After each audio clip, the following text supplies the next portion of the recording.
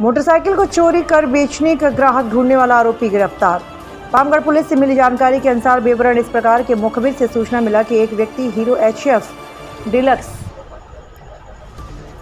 C G one one C three one six nine को बिक्री करने हेतु ग्राहक की तलाश कर रहा है। सूचना पर हमरा स्टाफ गवाहन के साथ जाकर घटनास्थल जांजगीर रोड पामगढ़ शराब भट्टी के पास बिक्री करने हेतु संख्या में बैठा था और जिसमें नाम पता पूछने पर वह भागने लगा, जिसे स्टाफ के द्वारा दौड़ाकर पकड़ा गया, जिसे नाम पता पूछने पर सूरज चौहान पिता गणेश राम चौहान, उम्र बत्तीस वर्ष, शाकिन औरैया कला चौकी, खरोद सुकुलपारा थाना सिवरी नारायण बताया, जिसे शक रखने के संबंध में धारा इक्यानवे नोटिस जारी किया, स्वतः लिख कर दिया कि मेरे पास उक्त मोटरसाइकिल संख्या से संबंधित कोई भी कागजात नहीं है। गवाहों के समक्ष आरोपी का धारा 27 साक्ष्य अधिनियम के तहत कथन लेखबद्ध किया गया। पश्चात आरोपी के कब्जे से एक मोटरसाइकिल एच एफ़ डिलक्स, जिसका chassis number, M B L H A T I A S C E nine D zero six six eight eight, engine number H A I E G nine D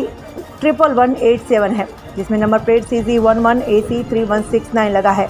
कीमती बाईस हज़ार रुपये दो एक पुराने इस्तेमाल।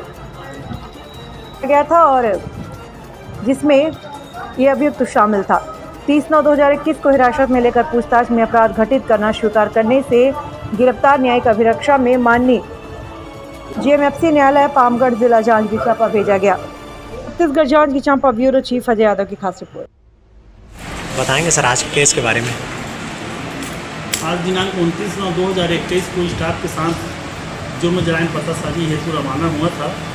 कि मुखबिर द्वारा सूचना मिली कि एक व्यक्ति शराब भट्टी रोड पामगढ़ में पुरानी मोटरसाइकिल को कम दाम में बेचने के लिए ग्राहक तलाश कर रहा है।